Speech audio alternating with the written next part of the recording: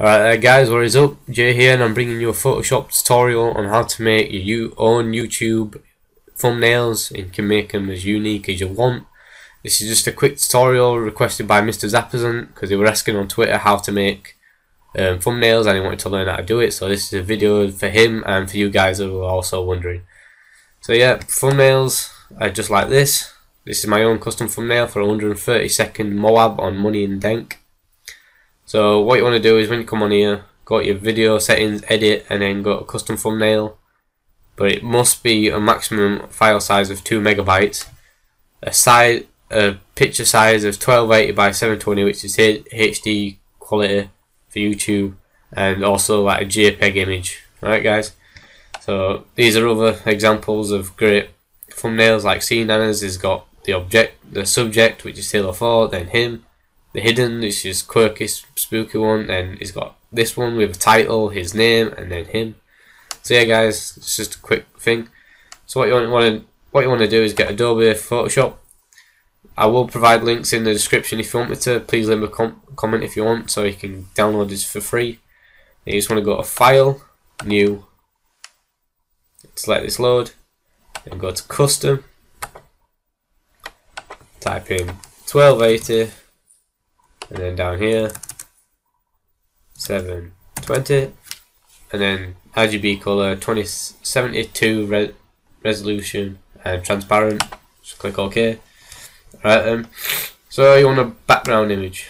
So you go to Google type in maybe Call of Duty Black Ops 2 select an image. Select this one. Right click this. Copy the image. Go down to Photoshop again Right. File. Where is it? Eh. Oh, sorry. edit paste. Right. And then edit transform and then go to scale. you just want to hold down the shift key and drag in the drag the corners out so it fits. So get it about like that and then just drag it down so it fits. And do the same again with the same corner.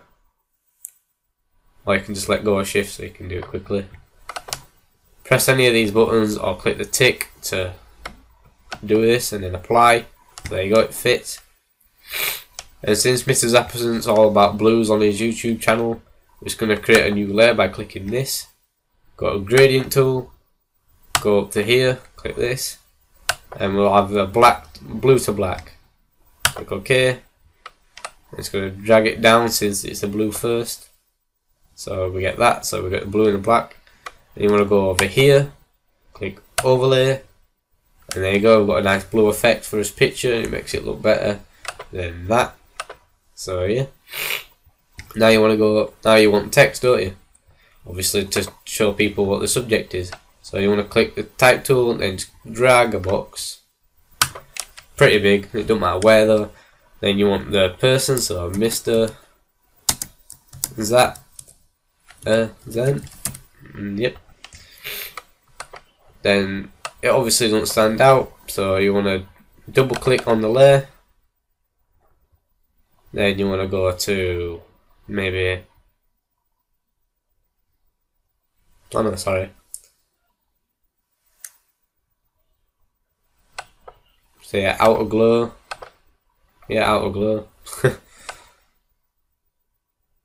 then just up the opacity and that sort of stands out.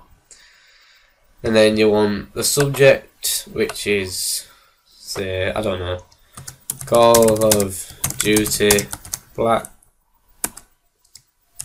Black Ops 2 say like it gets 100 and 100 and 0 because it's amazing it gets flawless. And you just want to to drag it into a space. Oh, well, it'd help if I typed it right. No, right. Delete that there. So to redo it, click type, click on the type, and then edit it. Then since you've already got this outer glow, you want it you want it on this as well. So double click again, outer glow, blast this up to one 100. We'll put a gradient, gradient overlay on as well. So you want the same as before. But you see it goes black to blue, just reverse it. Then change the scale if you want to. So by changing the scale, it, it depends how much like of the colours you want to blend. There you go. Right, so you want the same for this. For your title, your Mr. Zapazant title. Gradient overlay. Click again. Click on the gradient. Click what you want. OK. Reverse this. And that looks pretty cool by itself, so OK. And there you go guys, that's how to make your own thumbnail in Photoshop. Now when you finish, you want to go to File, Save As. Go down here to where it says Photoshop. Go down to JPEG. And you want to call it Mr. Zapazant thumbnail. Well there you go, I've already done it because I did a pre-recording on this but it failed. So yeah, just do that what you want. So JPEG, okay. Alright, so you see this is the file size, 672.2 kilobytes. Right? That's perfectly fine uh, since it's lower than 2 megabytes. But if you do have an image that is over 2 megabytes, you just want to go here, drag it down to 11 and it, the file size drops, but so does the quality. It don't the quality don't drop by that much. I don't think so. It's not really bothered. Just get it so it's like two megabytes. That's probably the lowest I've had to take it to nine. And so if you're perfectly fine, you've got lower than two megabytes. Click OK, and then you're done. Go onto your YouTube.